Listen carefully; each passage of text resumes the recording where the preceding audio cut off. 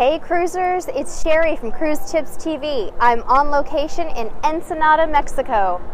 About 90 miles down the Baja California coast, south of the California border, we found this gem of a port where you can enjoy anything from kayaking to wine tasting to hanging with the locals.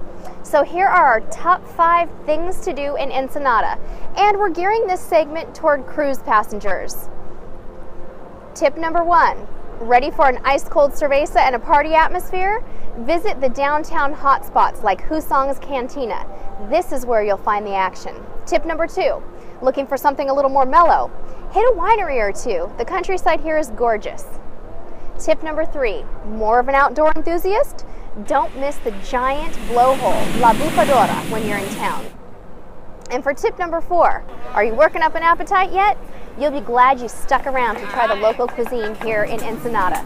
From tacos on handmade tortillas to clams served straight off the barbecue, the food here is authentic and reflects its own unique regional personality.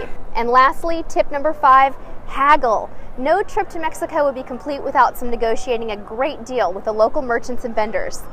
Well, that's it from Ensenada. Hasta la vista and see you on the high seas.